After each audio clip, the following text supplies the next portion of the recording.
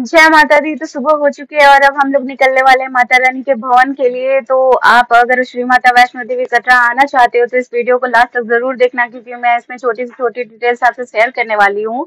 और बजट से लेके सब कुछ शेयर करूँगी ट्रेकिंग में क्या क्या आपको ले जाना है तो stay connected hey guys welcome back तो अब हम लोग जा रहे हैं बाल गंगा और वहाँ से फिर चढ़ाई होगी जहाँ मंदिर जाने की। और वहाँ पे कैसे जाते हैं और कितनी लंबी चढ़ाई है और कैसी है आ, मतलब कैसा है वहाँ का रास्ता जो भी है मैं सब आप लोगों के साथ शेयर करूँगी। तो सबसे पहले होटल वाले हमें गाड़ी से ले जाकर बाल गंगा तक छोड़ेंगे और उसके बाद माता रानी के मंदिर में जाने के लिए वहाँ से चढ़ाई स्टार्ट होती है जो कि सोलह या सत्रह किलोमीटर की है। तो मैं सारी इन्फॉर्मेशन आप लोगों के साथ शेयर करूँगी। स्टे कनेक्टेड होटल भी बहुत बढ़िया था, यहाँ की सर्विस काफ़ी अच्छी है। यहाँ के यहाँ का सारा माहौल ही काफ़ी अच्छा है बहुत अच्छा है। आपको आके मिल पीस मिलने वाला है, बहुत शांति मिलने वाली है। तो हम लोगों की गाड़ी आ चुकी है, यही, इसी वैन से हम लोगों को बाण गंगा तक छोड़ा जाएगा और इस होटल में हम लोगों ने रुका था। ऐसे मैं बता चुकी हूँ, फिर भी बता दे रही हूँ, क्योंकि यहाँ की सर्विस बहुत अच्छी थी। मुझे कोई पैसे नहीं दिए गया है यहाँ के बारे में बताने के लिए। होटल ब्रॉडवे और यहाँ की सर्विस बहुत ही बढ़िया थी। लोग इतने अच्छे थे, बहुत पोलाइट यहाँ के मेंबर्स थे सारे तो हम लोगों को बहुत अच्छा लगा। तो अगर आप भी यहाँ पे आते हैं तो एक बार ज़रूर विज़िट करना, आपको रूम भी बजट फ्रेंडली मिल जाएगा और एक ही रूम में हम लोग चारों आदमी आराम से एडजस्ट हो गए थे, बिल्कुल भी प्रॉब्लम नहीं थी हमें। तो यहाँ पे आप आके थोड़ा बहुत बार्गेनिंग भी कर सकते हो रूम के लिए। तो हम लोगों ने किया था तो हम लोगों को थर्टी फाइव हंड्रेड में डबल रूम मिला था। थर्टी फाइव हंड्रेड में इसलिए मैं बता दे रही हूँ क्योंकि हम लोग ऑफ़ सीज़न में आए थे तो थर्टी फाइव हंड्रेड में मिल गया था। हो सकता है आप लोग ऑन सीज़न में आए तो आप लोगों को थोड़ा महँगा मिले तो आपको मैं पहले ही बता दे रही हूँ। ऐसा नहीं है कि उन लोगों ने थर्टी फाइव हंड्रेड दे दिया था तो ऑन सीज़न में, क्योंकि उन लोगों की कमाई ही यही है। तो ऑब्वियसली ऐसे आप अपने वे से देख लेना। आप थोड़ा बहुत मैनेज भी कर सकते हो बार्गेनिंग वगैरह कर। तो मेरे पिताजी मेरे सर पे माथा पट्टी बाँध रहे हैं, जय माता दी वाली। और सबसे इम्पोर्टेंट चीज़ मैं अभी आपको बताने वाली हूँ कि आपको अपना बजट कितना रखना है। देखो ट्रेन वगैरह और खाने पीने होटल सबके खर्चे को लेके आप टेन थाउज़ेंड में आराम से माता रानी के दर्शन कर सकते हो, यहाँ तक आ सकते हो।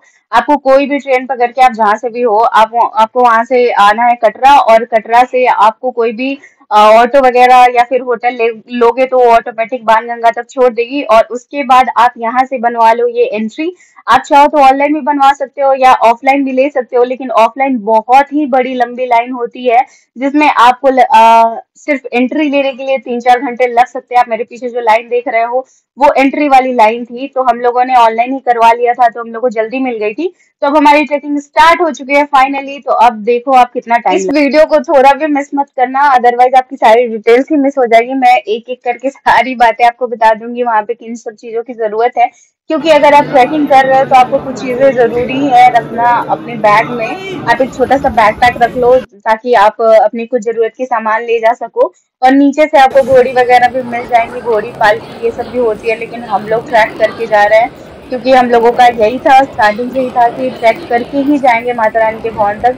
तो इसीलिए हम लोग की ट्रैक तो स्टार्ट हो चुकी है और यहाँ पे बाण गंगा है आप मुझे दर्शन कर सकते हो। यही है बाण गंगा देखो रास्ते में आप पानी ज़रूर खरीद लेना और खरीदना तो खरीदना बॉटल फेंकना मत प्लीज़ क्योंकि हम लोगों ने ये बेवकूफ़ी कर दी थी। एक्चुअली नीचे दो किलोमीटर तक फुल मार्केट है सारे शॉप्स वगैरह हैं बट ऊपर जाने के बाद सिर्फ़ आपको नल की सुविधा है तो इसीलिए उसमें पानी बराबर आता है, ठंडा पानी, गर्म पानी, बहुत बढ़िया पानी होता है, शुद्ध पानी होता है। बट हम लोगों ने बॉटल ही फेंक दी थी तो हम लोग कहीं पे स्टोर नहीं कर पा रहे थे, जिसके कारण इतनी प्यास लगी थी हम लोगों को। ऑब्वियस बात ट्रेकिंग कर रहे तो प्यास लगी थी और हम लोग पानी तक नहीं पी रहा, पी पा रहे थे, क्योंकि हम लोगों ने अपनी बॉटल फेंक दी थी। तो अगर आप जा रहे हो, अगर पानी खरीदे हो तो बॉटल अपने साथ ही कैरी करना, उसको फेंकना मत। तो अभी हम लोग बस तीन किलोमीटर तक पहुँचे हैं और यहाँ पे माता का चरण पानी का रखा हुआ अभी देखो हम लोग को यहाँ पे आई थिंक एक घंटे तो लग गए यहाँ पे तीन किलोमीटर आते आते। नहीं उससे कम ही लगेंगे मैंने देखा नहीं है। तो आगे देखो मैं अभी तो बहुत दूर है पर हो जाएगी जय माता दी। श्रद्धालुओं की भीड़ कम नहीं है यहाँ पे बहुत ज़्यादा है। तो अभी जबकि ऑफ़ सीज़न चल रहा है फिर भी बहुत सारे लोग हैं यहाँ पे। तो चलो देखते हैं कितने दिन में पहुँचते हैं। जय माता दी यहाँ से सोलह किलोमीटर दूर है। मुझे तो बिल्कुल भी थकावट नहीं हो रही थी। इतनी अच्छी वाइब है यहाँ की, मैं क्या ही बताऊँ, इतनी शांति है यहाँ पे और ये नज़ारे आपको तो बिल्कुल भी थकने नहीं देंगे। ऐसा लगेगा सच में माता रानी आपको कहीं से देख रही है। तो सच में बहुत अच्छा लग रहा है, आप भी आओ। जितना ऊपर आप चढ़ते जाओगे, उतने सुंदर सुंदर नज़ारे आपको दिखेंगे। तो गाइज़ लगभग छः किलोमीटर चल चुके हैं हम अभी बट दस किलोमीटर बाकी है और तो प्रेम से बोलो जय माता दी। रास्ते में टॉयलेट्स वगैरह सबकी सेवा है। आप आपको कोई भी परेशानी नहीं होगी चढ़ाई करने में तो आप आराम से आ सकते हो बच्चों को भी लेके आ सकते हो। अर्ध कुमारी तक हम लोग पहुँच चुके हैं और यहाँ से माता के भवन जाने के लिए दो रास्ते हैं। एक है हिमकोटी से और एक है हाथी मठ से। तो हिमकोटी से आपको 5.5 किलोमीटर है और हाथी मठ से 6.5 किलोमीटर है। तो गाइस फाइनली थोड़ा थोड़ा करके हम लोग पहुँच गए अब बस पाँच फाइव किलोमीटर दूर और बहुत ही अच्छा लग रहा है, बहुत ही सुंदर नज़ारा है और बहुत ही श्रद्धालु लोग हैं यहाँ पे, जबकि ऑफ़ सीज़न है, फिर भी बहुत सारे लोग हैं। तो अब हम लोग थोड़े टाइम में पहुँचने ही वाले हैं। बहुत खूबसूरत मौसम भी है, नज़ारे काफ़ी अच्छे आ रहे हैं। तो मेरे वीडियो के साथ लास्ट तक बने रहिए। मैं आपको अभी तक हम लोगों को कम से कम तीन घंटे लग गए हैं ऊपर चढ़ाई करने में। एक्चुअली मेरी मम्मी थोड़ा स्लो चलती है क्योंकि उनके पैर में थोड़ा तकलीफ़ है। तो इसकी वजह से अभी तक हम लोगों को तीन घंटे लगे हैं। बस अब यहाँ से पाँच किलोमीटर दूर स्टे कनेक्टेड जय माता यहाँ से रास्ते डिवाइड हो जाते हैं घोड़ी और पालकी वगैरह के रास्ते आपको हाथी मठ से चले जाते हैं। और इधर से जो हम लोग जा रहे हैं हिमकोटी से वहाँ पे आपको बैटरी कार वगैरह मिल जाएगी जो थ्री हंड्रेड में रजिस्ट्रेशन होता है। तो आप चाहो तो यहाँ से भी आ, मतलब बैटरी कार करके जा सकते हो लेकिन हम लोगों को पैदल ही जाना था। तो हम लोग हिमकोटी से जा रहे हैं। थोड़ा सा रेस्ट कर लिया है हमने फिर ट्रैक स्टार्ट करते हैं। तो हम लोग थोड़ी देर में पहुँचने ही वाले हैं अब। फाइनली पूरा मतलब ट्रैक हमने कंप्लीट किया है। और कोशिश भी कि चल के ही जाना है और हम लोग चल के ही आए हैं। अच्छा लग रहा है कि हम लोगों ने अपना ट्रैक कंप्लीट कर लिया है। थोड़ी देर में हम लोग भवन तक पहुँचने ही वाले हैं और मेरे पीछे का ये व्यू कितना खूबसूरत है। कुछ भी कहो, बहुत सुंदर है, बहुत। तो गए देवी की द्वार में फाइनली हम लोगों की एंट्री हो चुकी है, बस भवन तक जाना है, जाना प्रेम से बोलो जय माता दी। तो गई बहुत एक्साइटेड हूँ क्योंकि थोड़ी ही देर में माता रानी का भवन नज़र आने वाला है और हम लोगों ने 12 बजे ट्रेकिंग स्टार्ट की थी, पाँच बज चुके हैं अभी और अभी हम लोगों को दो तीन घंटे तो और लगेंगे ही।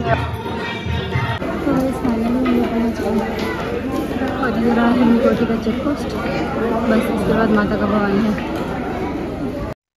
हिमकोटी पे चेक पोस्ट आएगा, वहाँ से आपको एंट्री दी जाएगी माता रानी के भवन के लिए। तो अब ज़्यादा दूर तो है नहीं और यहाँ से थोड़ी ही देर में माता रानी का भवन दिखने लगेगा और बहुत ही बहुत ही बहुत ही अच्छी वाइब आ रही है। फाइनली माता रानी का भवन नज़र आ गया। जैसे जैसे शाम हो रही थी वैसे वैसे नज़ारे इतने सुंदर हो, होते जा रहे थे मैं क्या ही बताऊँ। शाम हो गई शाम। तो यहाँ से मैं आपको कुछ इन्फॉर्मेटिव चीज़ें बता देती हूँ। यहाँ पे आप आओ तो एक दो चादर ज़रूर लेकर आना, बच्चों की ज़रूरत के सामान लेकर आना और एक जोड़ी कपड़ा लेकर आना ताकि ऊपर में आप नहा के माता के भवन में प्रवेश कर सको। और दूसरी चीज़ ये है कि आपको रास्ते में एंट्री होते ही यहाँ पे लॉकर्स वगैरह मिल जाएँगे।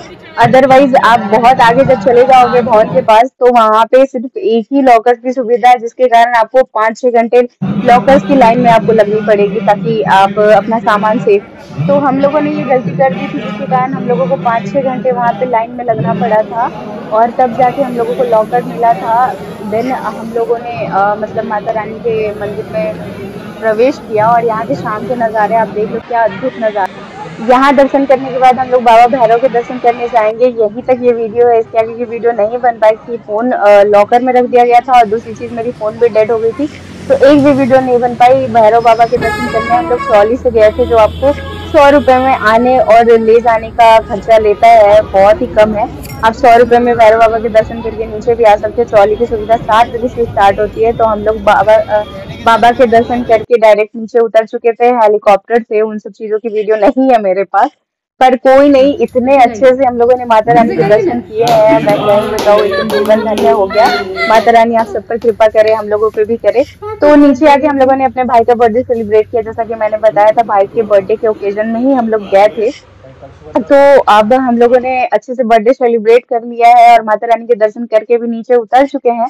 तो ये सारी वीडियोस में मैंने आपको फुल डिटेल्स इंफॉर्मेशन बताई है। अगर आपको ये वीडियो पसंद आई हो तो इस वीडियो को लाइक ज़रूर कीजिएगा, मेरे चैनल को सब्सक्राइब ज़रूर कीजिएगा। माता रानी आप सब पे कृपा करें और हम लोगों ने इतने अच्छे से मेरे भाई का बर्थडे मनाया, बिल्कुल भी एक्सपेक्टेड नहीं था। जय माता दी बाय